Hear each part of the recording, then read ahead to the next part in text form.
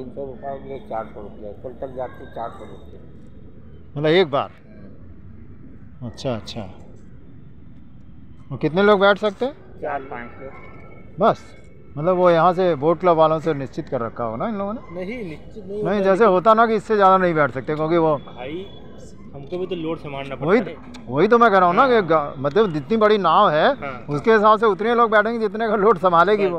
पता लगा कि वो नहीं नहीं नहीं बैठ जाना एक अलग चीज़ है। देखिए क्या होता बोट क्लब बना है कि नहीं यहाँ बना मैं नहीं जानता। बोट क्लब जैसे बने होते हैं इन तरह जैसे रिवर साइड ये होता है। तो वहाँ ये निश्चित करे रहते हैं कि पाँच सवारी छः सवारी जैसे जब कुंभ उम्भ लगता है तो क्या होता है? वो कहते हैं इतनी सवारी ज़्यादा नहीं जानी। बात इतनी जाएँगी तो पता लगा गिर गया, वो हो गया तो थोड़ा सा फिर। हाँ नहीं नहीं, रिस्क तो लेना भी नहीं चाहिए, क्योंकि जो लोग जा रहे हैं, उनका भी वो है ना, बिल्कुल जो है, कुल मिला के जय बाबा नीम करोली। River side. मतलब यहाँ से वहाँ तक का चार सौ रुपये। अच्छा अच्छा।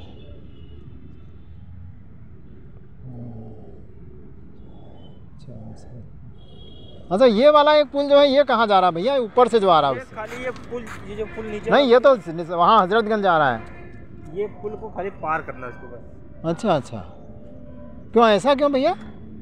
भाई कहीं ना कहीं तो वो क्रॉस नहीं। कहीं तो क्रॉस कर ही रहा ना वो क्या नाम है क्या? अरे भैंसा पे। हाँ? अच्छा भैंसा गुण हाँ। ऊपर वाला। और नीचे वाला तो विधानसभा मार्ग चला जाएगा।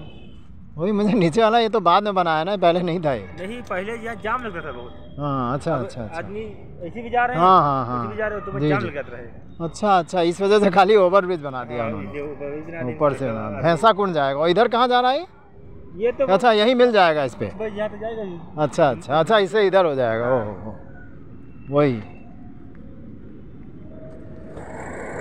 जय बाबा नीम करोली